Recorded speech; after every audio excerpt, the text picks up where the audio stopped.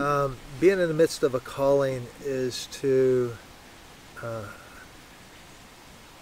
we could say it's to, to be called out of the, the comfortable place that you've grown into.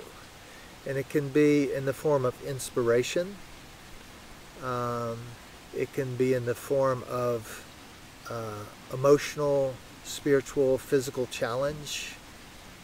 Um, but something that calls you out of, or we can even say pushes you out of, uh, the that which you've gone grown comfortable and familiar with.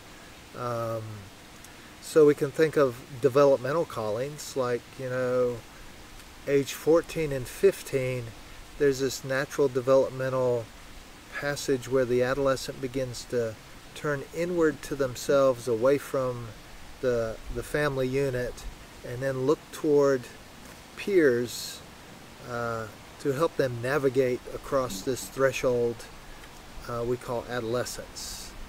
Um, and it was often in that place, in that first developmental place, that elders would meet that response. Typically not their family members, but other elders would respond to that uh, gravitational pull that begins around that age. Um, other periods of life, we could say developmental changes, you know, in the early 20s or late 20s and 40s, and you know, every decade has its way of nudging us into a little something different than what we've been in, and um, and then there are periods of, uh, as I say, challenge or discomfort or illness or accident where things happen that force us uh, to re-examine our lives. Um, not every difficulty or challenge we could say is a rite of passage. Um, I think there are other elements that have to be there to met, meet the calling. Um, and that's typically a guide.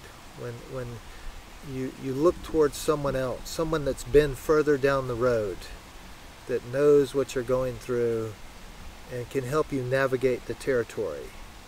Um, again, to see things more mythologically than psychologically. So this calling, um, where you're you're reaching beyond the familiar um, because of some something, um, and you're usually met um, by uh, someone that can help guide you across that that threshold, that territory.